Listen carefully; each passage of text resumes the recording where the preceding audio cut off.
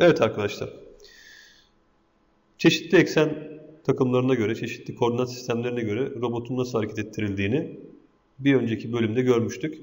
Şimdi tool ve base koordinat sistemlerinin nasıl tanımlandığını, nasıl ölçümlendirildiğini size göstermek istiyorum. Bu şu açıdan faydalı.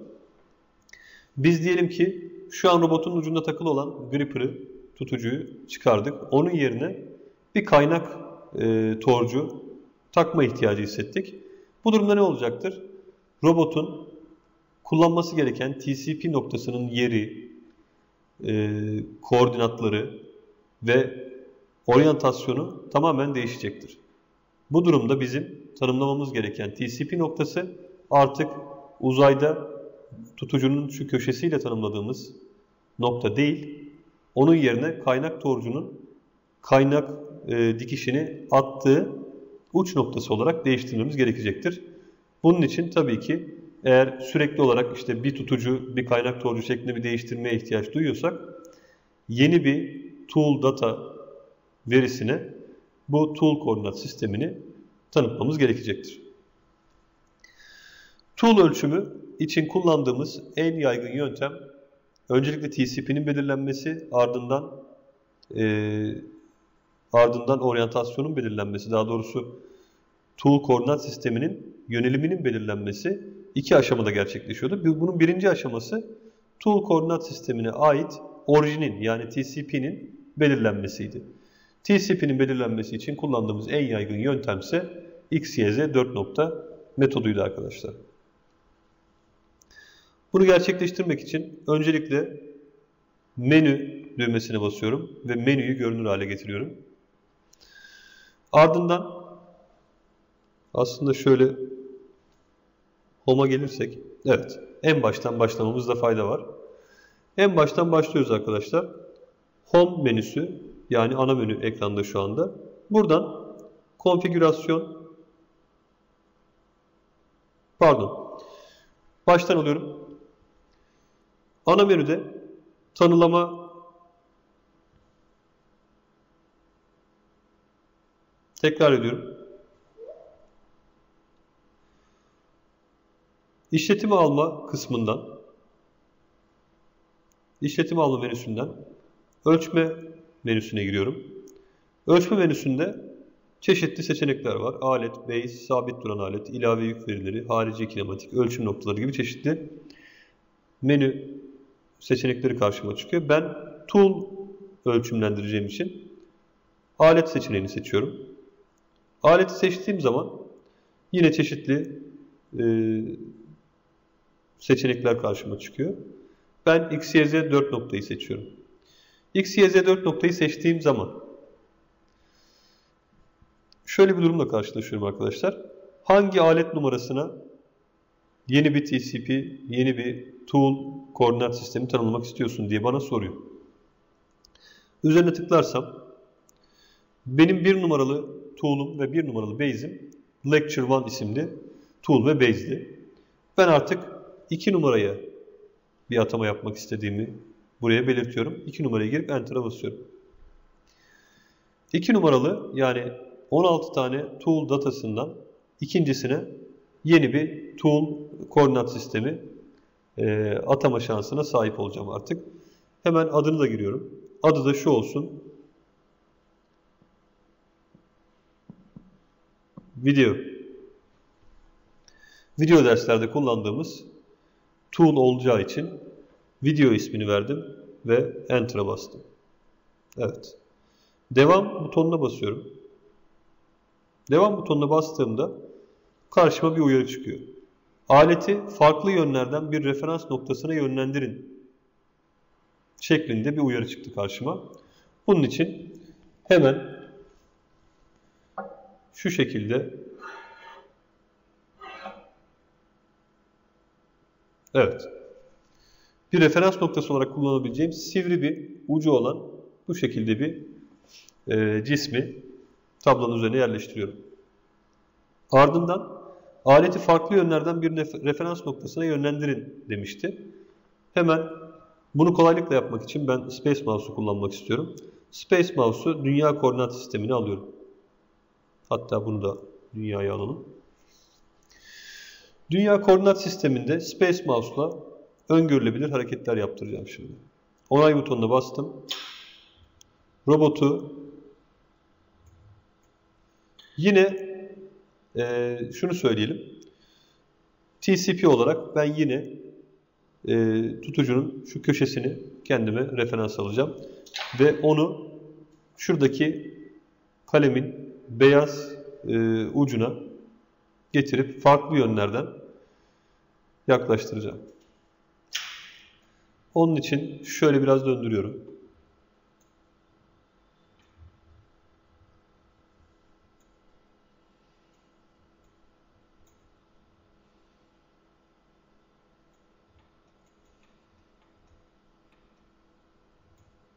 Evet. Şu anda tutucunun köşesi tam olarak e, referans noktama bu açıdan yaklaştı. Bu noktada ne yapmam lazım?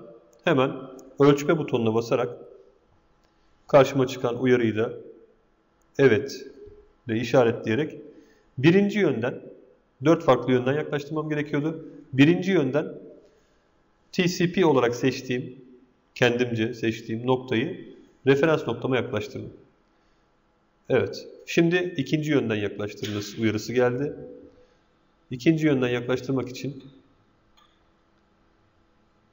bu şekilde TCP'mi döndürüyorum.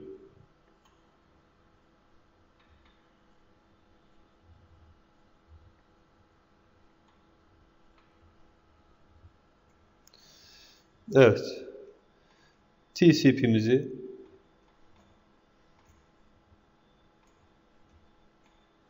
bu şekilde yine farklı bir yönden aynı referans noktasına yaklaştırdık. Ölçmeye basıyorum. Uyarıyı onaylıyorum. Üçüncü yönden yaklaştırınız diyor. Üçüncü yönden üçüncü yönden yaklaştıracağım şimdi.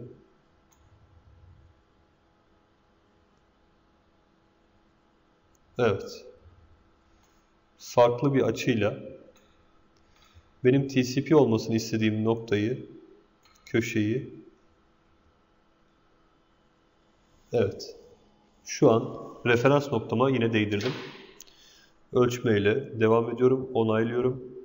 Dördüncü yönden yaklaştırmamı istedi.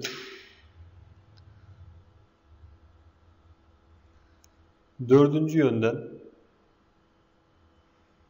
TCP noktamı robota yaklaştırıyorum arkadaşlar.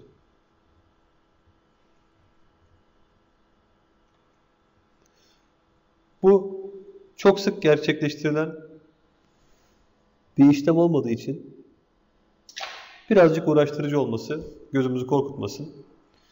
Ee, bazen öyle bir zaman olur ki robotun ucuna taktığımız bir tool'u aylarca kullanabiliriz. Yani tekrar tekrar bu işlemi gerçekleştirmemiz gerekmez.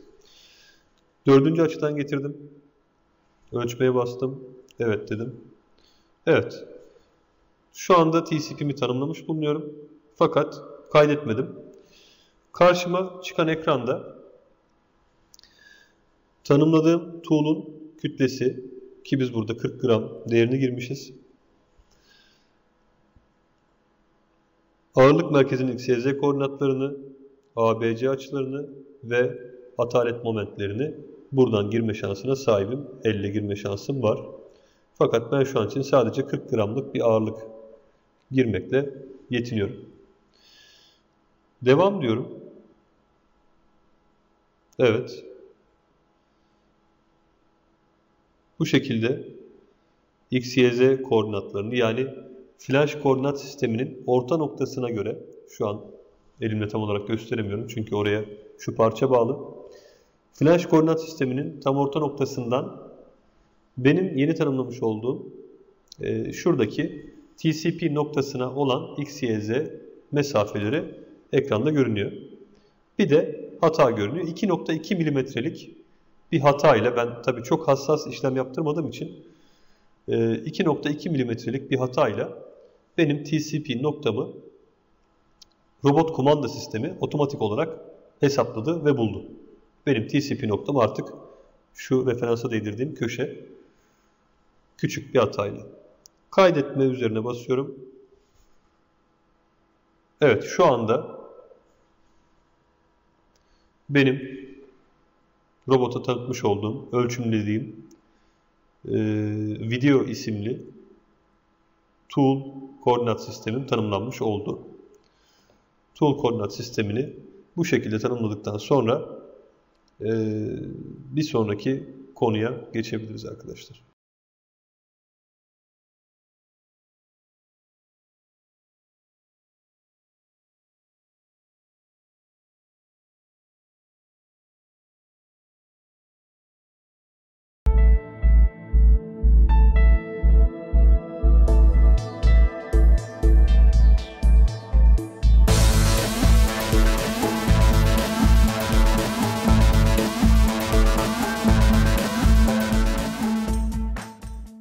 Bir 3. Evet arkadaşlar. 8. uygulamamız e, tanımlamış olduğumuz TCP noktasının orijin TCP noktasını orijin alarak e, oraya yerleştireceğimiz koordinat sisteminin oryantasyonunu tanımlamak. Bunun için yapacağımız şey şu. ABC World metodunu kullanacağız. Bunu nasıl yapıyoruz? İşletime almadan yine ölçmeye tıklıyoruz. Ölçmeden yine aleti seçiyoruz. Alette XYZ4 nokta metoduyla TCP'yi tanımlamıştık. Şimdi ABC World metoduyla e, artık video isimli 2 numaralı tool dataya atanmış olan video isimli tool koordinat sistemimizin oryantasyonunu belirleyeceğiz. Karşımıza zaten veriler çıktı. X, Y, Z koordinatları TCP'nin karşımıza çıktı flanşa göre. Devama basıyorum. Devamda 5D'yi seçiyorum. Aletin çarpma yönü X aksı olarak, X ekseni olarak belirlenmiş. Benim yapacağım şey şu. Ben artık e, aletin çarpma yönü olan şuradaki tool koordinat sisteminin X ekseni yani çarpma yönü olan ekseni dünya koordinat sisteminin doğrultusuyla çakıştıracağım. Dünya koordinat sisteminin z ekseniyle çakıştıracağım. 5T metodunu seçtik. Devam diyorum. Bana verdiği uyarı şu. Aletin çarpma yönünü dünya koordinat sisteminin z eksenine paralel olarak yönlendirdim. Peki. Bunu nasıl yapacağız? Aletin bir kere çarpma yönüyle başlayalım. Aletin çarpma yönü nedir? Bu bir tutucu olduğuna göre bir tutucunun x ekseni yani çarpma yönü e, tutmak istediği parçaya yaklaştığı yöndür. Yani bu durumda e, gripper'ın çarpma yönü aşağıya doğru olan eksen olacaktır. Z e, x ekseni. Ve bu x ekseni tool koordinat sistemine ait x ekseni dünya koordinat sisteminin z ekseniyle çakıştırılmak durumunda. Bunu ben şu an için göz kararı gerçekleştireceğim.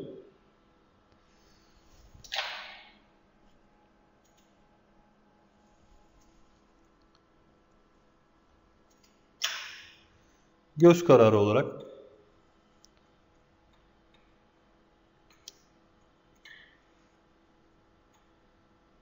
robotu tam karşıma alıp evet Şu anda oldukça yakın durumdayım.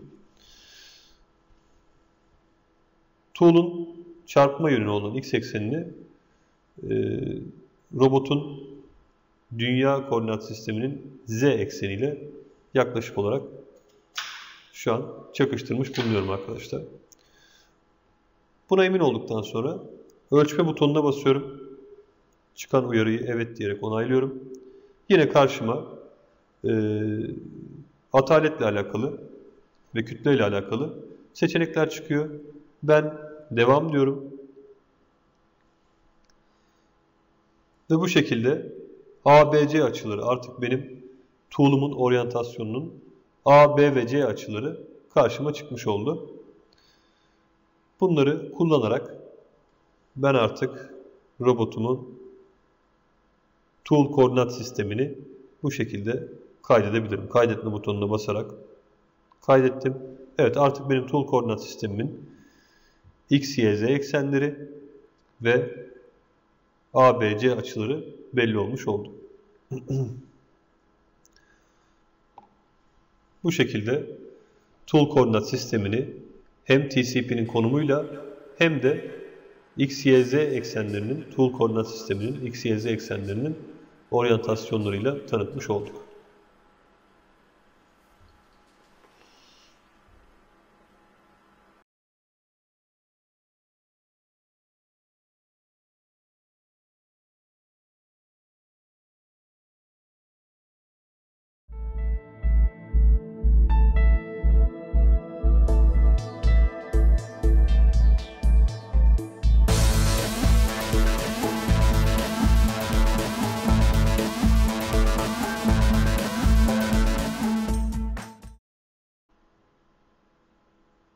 Evet şimdi de tool'umuzu tanıttıktan sonra artık e, üzerinde çalışma yapacağımız base koordinat sisteminin nasıl ölçümlendirileceğini ve tanıtılacağını kumanda sistemine görelim. Bunun için öncelikle ben base'i e, daha önceki uygulamalarda hareket ettirirken birazcık bahsetmiştim. Şimdi tekrar edeyim. Önümdeki tablonun üzerinde kartezyen koordinatlarda x ve y eksenleri mevcut. Ben robota base olarak bu tablonun şu düzgün yüzeyini tanıtacağım. Orijin olarak burada e, yer alan x, koordinat sisteminin orijinini alacağım. x eksenini robota doğru, y eksenini bana göre sol tarafa doğru alacağım. Bu durumda z ekseni, z ekseni de otomatik olarak e, tablo düzleminden dışarıya doğru olan, yukarıya doğru olan eksen olacak. Daha sonrasında ise robotun yapacağı bütün hareketler artık bu x-y düzlemi, x-y eksenleri ve z ekseni boyunca gerçekleşecek TCP'nin hareketleri. Evet, base koordinat sisteminin tanımlanması için öncelikle yine ana menüye geliyoruz. Ana menüde tekrar en baştan gösterelim. Ana menüde işletimi almadan yine giriyorum. Ölçme menüsüne tıklıyorum. Ölçmeden artık base ölçümlendireceğimi e, belirtiyorum sisteme. Base'i nasıl ölçümlendireceğim? 3 nokta metodunu kullanarak ölçümlendireceğim arkadaşlar. 3 nokta metodunda benden istediği öncelikle base'imin hangi base dataya atınacağı. Birinciye ben lecture 1 isimli base atamıştım. Yine ikinciyi seçiyorum. Enter'la giriyorum. İsmi de ne olsun? İsmi de yine video olsun. Evet. Enter'la ismini de girdik. Şimdi ölçüm yapılacak olan base koordinat sistemini seçmeye başlıyorum. Devamla yoluma devam ettim.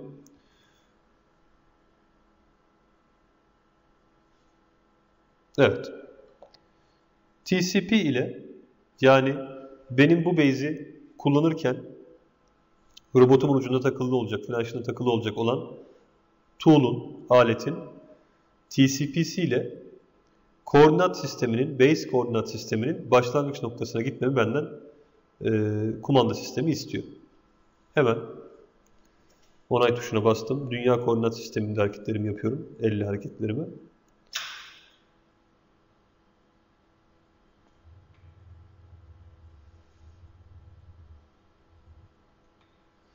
Şu an çok net olarak görünmeyebilir ama yine de burada yer alan koordinat sisteminin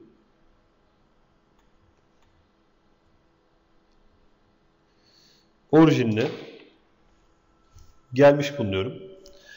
Orijine geldim.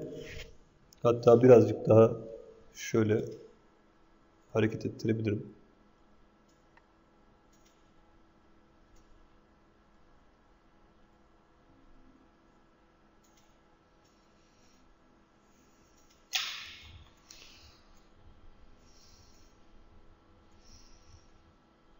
Evet. Şu an TCP ile koordinat sisteminin orijinine geldim arkadaşlar. Hemen ölçme butonuna basıyorum. Evet ile onaylıyorum. Evet. Base koordinat sisteminin orijini şu anda seçilmiş vaziyette. TCP ile base koordinat sisteminin pozitif x aksında bir noktaya hareket edin diyor. Pozitif x ekseninde bir noktaya ilerleyeceğim şimdi. Pozitif x ekseni benim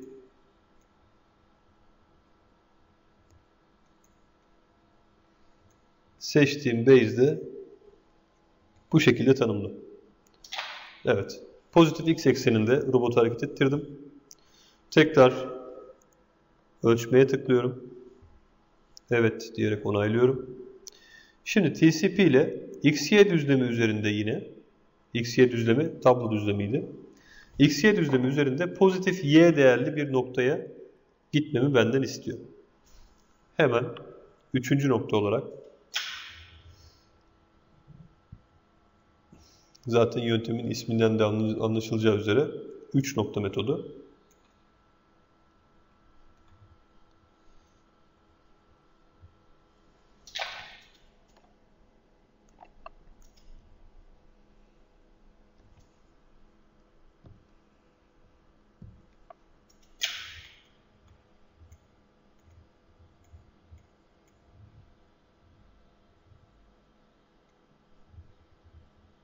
Evet.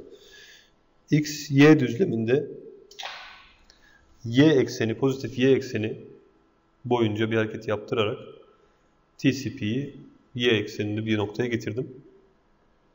Ölçme diyorum. Evet diyerek onaylıyorum. Ve artık kaydetme butonuna basarsam benim base koordinat sistemimin x, y, z koordinatları belli olmuş olacak. Kaydetmeye bastım. Böylece tablo düzleminde yani tablo düzlemi x, y düzlemi olacaktır. Ee, yer alan bir base koordinat sistemi orijini de e, tablo üzerindeki belirli bir nokta olan bir base koordinat sistemi tanımlamış e, oldum.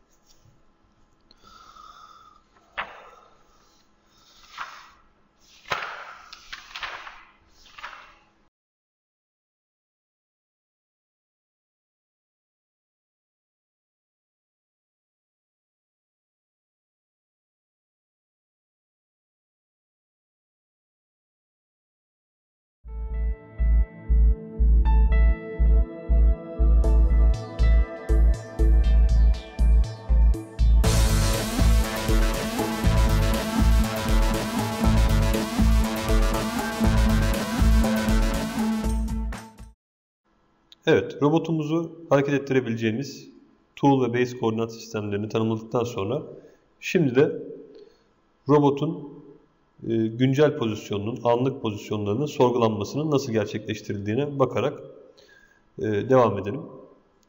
Öncelikle ana menüde görüntü menüsüne girmemiz gerekiyor. Görüntüden anlık pozisyon menüsüne girdiğimiz zaman görüntü, anlık pozisyon, menü yolunu takip ettiğimiz zaman karşımıza kartezyen koordinatlarda default olarak kartezyen koordinatlarda robotumuzun e, TCP'sinin konumu gelecektir arkadaşlar. Robot TCP'sinin konumu bu şekilde X, Y, Z koordinatları ve A, B, C oryantasyonları cinsinden ekrana geliyor. Burada aksa özgü butonu var. Buna tıkladığımız zaman artık robotun A1'den A6'ya kadar olan 6 tane ekseni için tek tek e, onların daha önce sıfır ayarı yapıldığı zaman tanıtılmış olan sıfır açılarına göre e, nispi konumları açısal olarak yer alıyor. Bu şekilde A1'den A6'ya kadar bütün eksenlerin açı değerleri görülebiliyor. Tekrar kartezyen koordinatlardaki TCP konumuna geçmek istediğimiz zamansa hemen e, onun yerine çıkan kartezik butonuna basarak kartezyen koordinatlardaki e, konumumuzu ve oryantasyonumuzu görme şansımız var.